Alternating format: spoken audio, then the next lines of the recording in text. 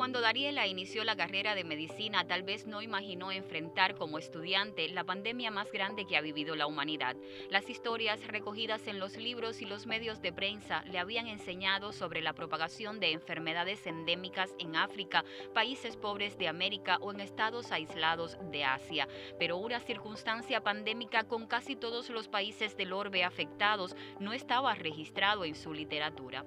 Ahora, esta realidad la ubicó en el centro de acción como futura profesional de la medicina.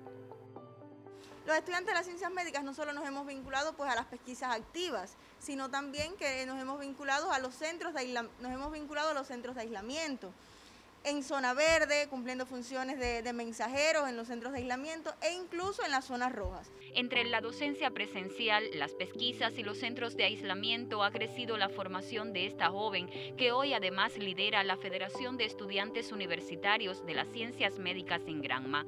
Siente que le devuelve a Cuba lo que Cuba le permitió, estudios gratuitos hasta el nivel superior, aún siendo hija de padres campesinos. Al comenzar el centro de aislamiento aquí en la facultad era centro de aislamiento de casos sospechosos. Una vez que yo entro, entré con casos sospechosos. Habían 126 pacientes en el centro de aislamiento. A los dos días de estar en el centro de aislamiento, pues dicen que van a evacuar a estos pacientes y, y el centro de aislamiento se va a convertir en un centro de aislamiento con casos positivos. Ya nosotros, pues eh, para nuestros padres era cuestionable, era peligroso el hecho de que estuviésemos en un centro de aislamiento con casos sospechosos. Y al enterarse en mi casa, pues, de que iba a estar en un centro de aislamiento trabajando con pacientes con casos positivos, eh, no lo tomaron de la mejor manera. Mi mamá tuvo subidas de tensión arterial y todas esas cuestiones, pero yo el solo hecho de saber que iba a contribuir eh, con mi revolución, ayudando en temas de higienización y que los pacientes se iban a sentir atendidos, para mí eso fue lo mejor.